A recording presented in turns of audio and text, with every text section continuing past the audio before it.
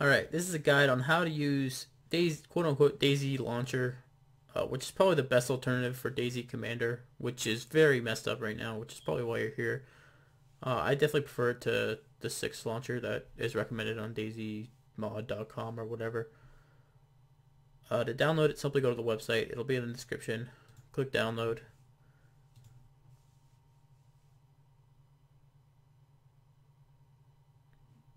Uh, if you don't have the automatic permissions, you need to run as administrator. So just go to your downloads. If you get that error, run as administrator. Here. Next, do everything it says. Uh, put it where you want it to put it, where you want to put it. Next, I'm going to create a desktop icon. Perfect. That was very quick. It Doesn't take long at all to download. When you open it, it looks like this does have a lot of similarities to DayZ Commander, so if you're transitioning from that to this, whether it's temporary or permanent, uh, it shouldn't have, you shouldn't have any problems with it. First, I'd suggest taking a look at your mods to make sure you have everything downloaded that you need to. Uh, it should just, if it's if it's downloaded, it'll say verify delete. If it's not, it should say download. It doesn't say if you have an old version, unfortunately. So if I mean you've like I've I've downloaded DayZ before obviously, but I don't have the newest version, so this download will really probably take only a couple minutes, maybe ten minutes, if it's that big. But yeah, just make sure all the necessary mods are there because sometimes they don't transition well from DayZ. If you downloaded it from DayZ Commander and are now using it from this, doesn't always transition well. So just make sure it's properly downloaded uh, this is what you're going to be using to find your servers most most of the time. Probably all the time, realistically. Uh, this is just to search servers. By default, it'll search every server that exists. Uh, if you click the plus filters button here, you can pick what mod you're looking for. Probably the best thing about this DayZ launcher is that it's probably the easiest way to get on that Overpoch server, which is probably the most popular server right now, or mod for DayZ. If you go to Overwatch or Epoch, either one, it'll also include all of the Overpoch servers. It'll say here what you need for it. DayZ Overpoch, what, what. DayZ Overwatch, what, what. And then if you have a different map other than Chernarus, you'll need Panthera or Napf or Lingor, Namalsk, whatever. So it's actually, this is probably one of the easiest ways to keep, to play Overpoch. So you may want to keep using this after DayZ Commander's all fixed up. Because it's so easy to join a server. Uh, I'll, I'll join this a random server right now. Just uh, so is an Overpoch server. I have all the stuff I need to play Overpoch, so just click the play button. It'll automatically load up into that server. Doesn't take any longer than DayZ Commander.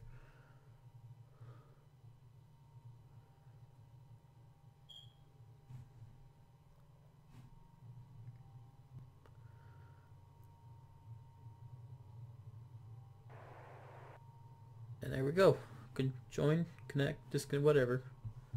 Works perfectly. It's it's pretty great. It's so easy to join Overpoch servers and find Overpoch servers, which is usually the bigger problem. But there are other ways to join servers. Uh, it, also, you can favorite servers by doing so, like that, and clicking this, and it'll bring you to the top. You can join, do it by players, do it by ping, version. Just like DayZ Commander, it has all the toggleable stuff like that. You can hide empty, full, offline, which you would probably want to do. Maybe not full, but... Uh, this is the other way to do it.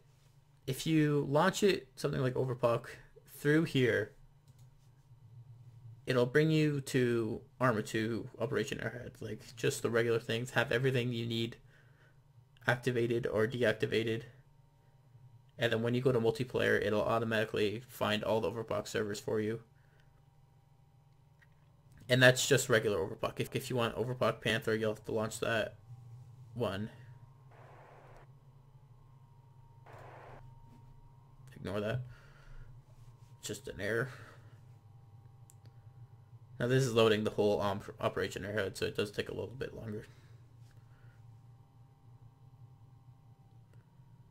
I'm going to cut until we get back to the main menu of Arma 2. So here we go. Alright, we're now here. You've seen this before. Uh, it, it literally only took like 20 seconds. I probably didn't even need to cut to load it to this. So you simply just go to multiplayer. Uh, make sure this the address is on internet. If it's on LAN, nothing will show up. You can filter, like you've probably, you may have used this before if you're looking for Wasteland servers or if you've done launch DayZ through this, which you absolutely can. Uh, you absolutely do not need to have DayZ checked. It'll automatically find them because you've specified what you're looking for. If you want a remote, you can manually search for a specific server. Like so. Join it like that. That's actually not an Epoch server, but that's not the problem.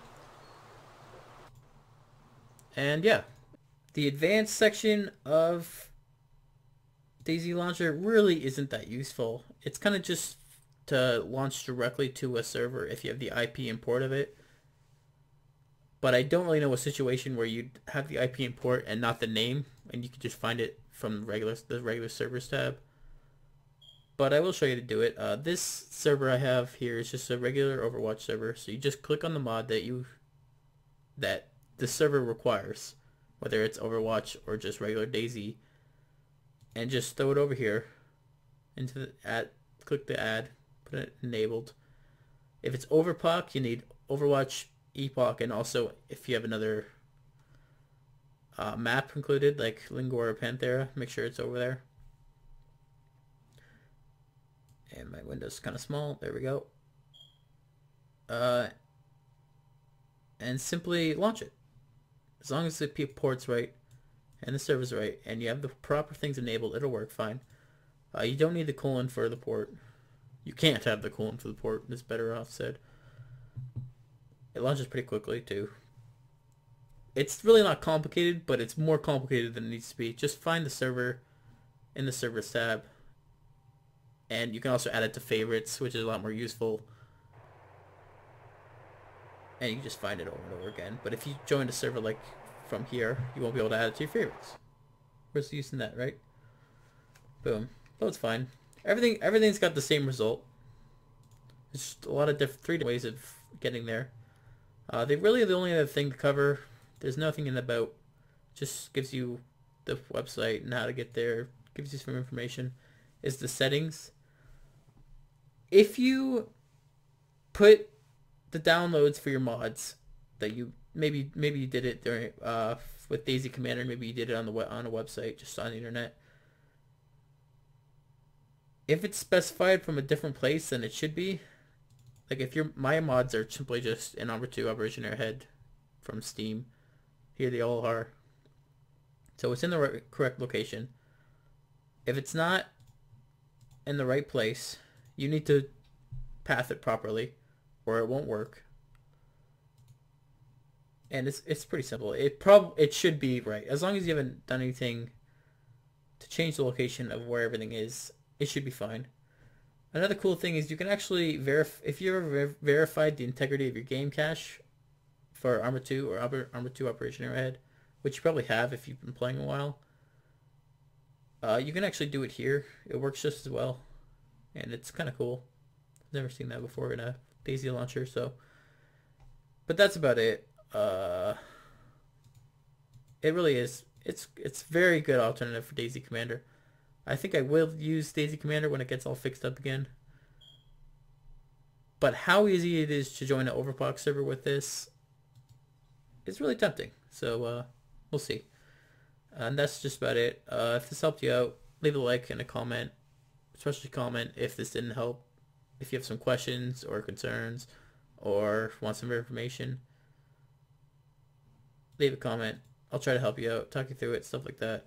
And that's about it. Uh, thanks for watching, and goodbye. Oh, there's a guy right there. That's a friendly. friendly.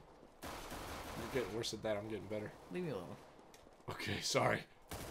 Dude. Uh, sorry. It's the same guy! you were saying? What? What's that? That's a friendly.